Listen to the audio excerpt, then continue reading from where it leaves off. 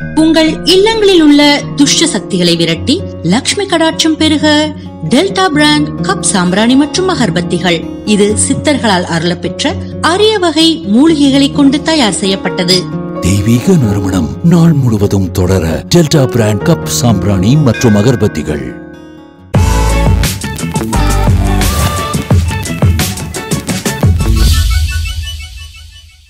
உலகலாம் உணர்ந்து ஓதுதற்கு அறியவன் நிலவுலாவிய நீர்மலி வேணியன் அழகில் சோதியன் அம்பலத்தில் ஆடுவான் மலர் சிலம்படி வாழ்த்தி வணங்குவான். வணக்கம். ஸ்ரீ குருப்யோ நமக. காலபுருஷ தத்துவத்திற்கு ஏழாம் இடம் துலாம் ராசி. துலாம் ராசியில் பார்த்தீர்கள் என்றால் இந்த உலகத்தில் ஆண் பெண் இருவரும் சரிசமம் என்பதை குறிப்பதற்கு தராசை சின்னமாக கொண்டிருக்கிறார்கள். துலாம் ராசி தர்ம திரிகோணம். துலாம் ராசியில் தான் சனி பகவான் உச்சம் அடைகிறார் சுவாதி நட்சத்திரத்தில். அப்போ ராகு பகவான் சுவாதி நட்சத்திரத்தில் சனி பகவான் உச்சமடைகின்ற இந்த துலா ராசிக்காரர்கள் உங்கள் ராசிக்கு இரண்டாம் வீட்டில் கேது பகவானும் உங்கள் ராசிக்கு எட்டாம் இடத்தில் ராகுவும் சஞ்சாரம் செய்கின்றார்கள். எப்படி இருக்கும்? வாங்க பார்க்கலாம். கடந்த காலத்தை பற்றி வேண்டாம். கடந்த காலத்தில் உள்ள நன்மை தீமைகளை நீங்கள் அனுபவித்திருப்பீர்கள். கடந்த காலத்தில் உங்கள் ராசிக்கு ஒன்பதாம் இடத்தில் இருந்த ராகு பகவான் தந்தையை பாதித்திருப்பார். தெய்வீக வழிபாட்டில் தடையை உண்டு பண்ணியிருப்பார். நேர்மை விசுவாசத்தை நம்பிக்கையை சீர்குலைத்திருப்பார். உங்ககிட்ட இருக்கக்கூடிய நல்ல மனுஷாலாம் போயிருக்கும். கையில் இருக்கக்கூடிய செல்வம் கரைந்திருக்கும். ஏற்கனவே மூன்றாம் இடத்தில் இருந்த சனி பகவான் சனியின் பார்வை பெற்ற ராகு ஆக மூன்று ஒன்பதுக்குரிய இந்த தொடர்புகள் வாயிலாக பல சிரமங்களை சந்தித்திருப்பீர்கள். கடந்த காலத்தில் இரண்டில் குரு பகவான் இருந்து நன்மை தந்தார். தற்பொழுது குரு பகவான் மூன்றாம் வீட்டில் உள்ளார். குரு மறைந்திருக்கிறார் என்று வைத்துக் கொள்ளுங்கள். துலாம் ராசிக்காரர்களுக்கு ஒரு இனம் புரியாத பயம் கவ்விக்கொண்டே இருக்கும். உண்மைதானே? மூன்றில் அந்தணன் ஏறி அமர்ந்திட தைரிய ஸ்தானத்தில் அதே நேரத்தில் கேது பகவானும் உட்கார்ந்திருக்கிறார். கேளா யோகம் என்று சொல்வார்கள். ஆக துளாராசிக்காரர்களுக்கு இரண்டில் கேது தனஸ்தானம் பணம் வரக்கூடிய வழிமுறைகள் செல்வத்திற்கும் கேது பகவானுக்கு என்ன சம்பந்தம்?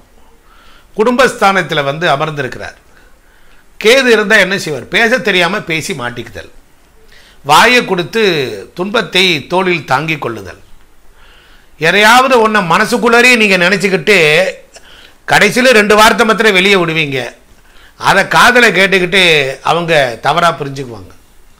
இப்படி தான் குடும்பத்தில் சண்டை சச்சரவுகள் பிரச்சனைகள் கண்டிப்பாக வரும். நிறைய பேர்கள் தனி குடித்தனம் போகுவதற்குரிய காலம் வந்துடும் கூட்டு குடும்பத்திலே இருந்த அந்த கணவன் மனைவிமார்கள் இரண்டு பேரும் இப்பொழுது தனி குடித்தனம் போகணும் அப்படின்னு பல பேர் ஆசைப்பட்டிருப்பாங்க.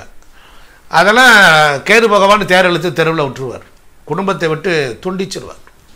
கூட்டு குடும்பமாக இருக்கிறவர்கள் குடும்பத்தில் இருந்து பிரிவினையை உண்டு பண்ணி விடுவார்.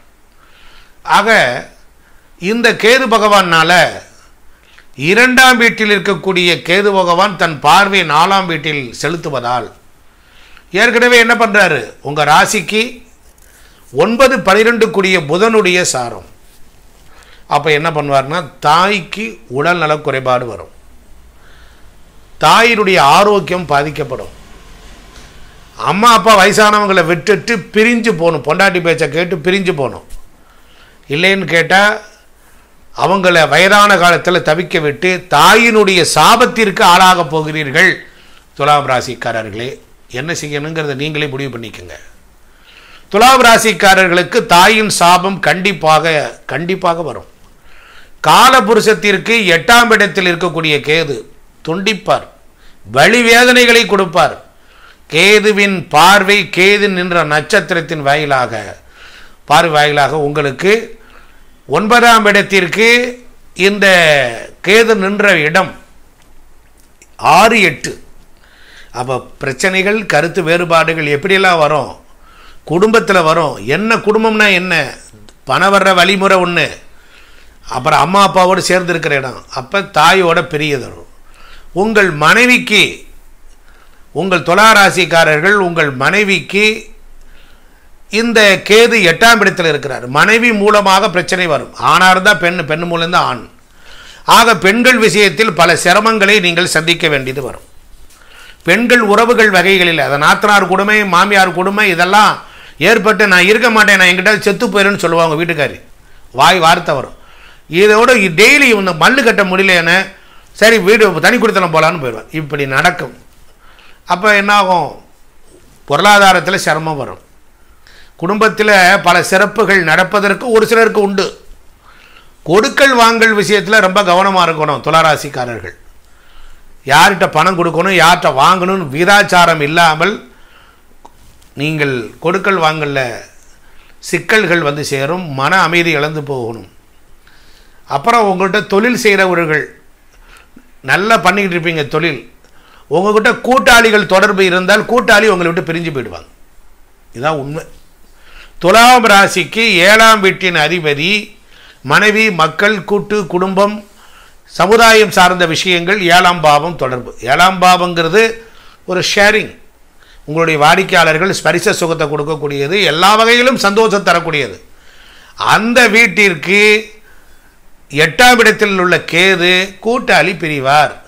சில பேர் கல்யாணமாகி மனைவி மக்கள் சரியாக புரிஞ்சுக்காம பிரிஞ்சு போகிறதுக்கு வாய்ப்பு உண்டு. ஆகையினால் ரொம்ப கவனமாக இருக்கணும். அடுத்தவங்க விஷயத்தில் தலையிடக்கூடாது. அடுத்த வீட்டில் சண்டை நடக்குது அண்ணே வீட்டில் சண்டை நடக்குது தம்பிக்கிட்ட பிரச்சனை இருக்குது மச்சனை குடும்பத்தில் ஒரு பிரச்சனை இருக்குது அப்படின்னு நீங்கள் நெஞ்சை விடைச்சிக்கிட்டு போனீங்கன்னா தலையிட்டீங்கன்னா அவங்க ஒன்று சேர்ந்துக்கிட்டு உங்களை தான் தலையை உருட்டிடுவார்கள்.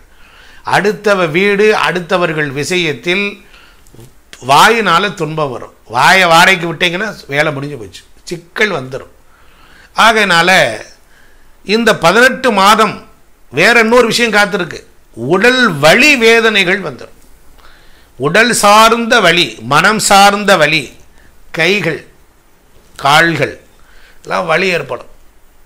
அதனால் இதுக்கு என்ன விஷயம்னாரு? உணவு விஷயத்தில் கவனமாக இருக்கணும். உணவு விஷயத்தில் உணவு விஷயத்தில் கவனமாக இருக்கணும். பழைய உணவை சாப்பிடக்கூடாது. ஃப்ரிட்ஜில் வச்சு சாப்பிட்ற பழக்கம் இருந்தால் நிறுத்திக்கங்க. உங்களுக்கு வரக்கூடிய துன்பங்கள் எல்லாம் பெண்கள் மூலமாக தான் வரும். சரி அதுக்கு என்ன சார் பண்ணலாம் வழிமுறை? வருவதை சொல்லிட்டேன் தடுக்கிற வழி வேணுமில்ல குருவை வேண்டுறேன். குருவே சர்வலோகானாம் அவரே சர்வலோகத்துக்கு அதிபதி. குருவே சர்வலோகானாம் விஷஜே பவரோகினம் பல நோய்களை குணப்படுத்தக்கூடியவர். ஆகையினால உங்களுக்கு வியாழக்கிழமை தோறும் விரதம் இருக்கணும். புதன்கிழமை தோறும் விரதம் இருக்கணும். ஒரு வேளை உணவை அவாய்ட் பண்ணுங்கள் அநாத குழந்தைகள் இருக்கும் இடத்திற்கு சென்று அநாத ஆசிரமத்திற்கு சென்று அவர்களுக்கு எழுது பொருள் வாங்கி தாருங்கள். அவர்களுக்கு ஒரு வயிறார ஒருவேளை உணவு கொடுங்கள். ஒரு வாரத்துக்கு ஒரு முறை போங்க. ஒரு நாளைக்கு ஒருவருக்கு ஒரு உணவு என்று கொள்ளுங்கள். ஆகையினால எழுது பொருள்கள் வாங்கி தாருங்கள். இரண்டாம் இடத்தில் உள்ள கேது என்ன செய்வார்? நல்ல ஞானத்தை கொடுப்பார். பேச தெரியாமல் பேசுவார். இல்லற வாழ்க்கைக்கு கேது பயன்பட மாட்டார். துறவர வாழ்க்கைக்கு தான் பயன்படும். இல்லறத்திலும் இருந்து நீங்கள் ஞானி மாதிரி இருக்க வேண்டிய சூழல் வந்துடும் ஆகையினால காயத்ரி தேவி வழிபாடு ரொம்ப முக்கியம். அதுபோல் ஆஞ்சநேயர் வழிபாடு ரொம்ப அவசியம். நரசிம்மமூர்த்தி வழிபாடு இந்த மூன்றும் உங்களுக்கு நன்மை தரும்.